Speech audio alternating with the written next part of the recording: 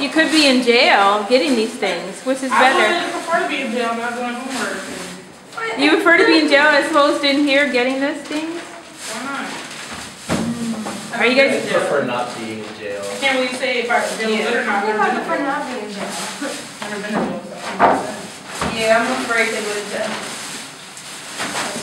I'm sure they're nice. Someone told me jail is pretty much a good thing, so Really? Yes, yes Well, they yeah, are. jail's the one that. I wouldn't mind going to jail.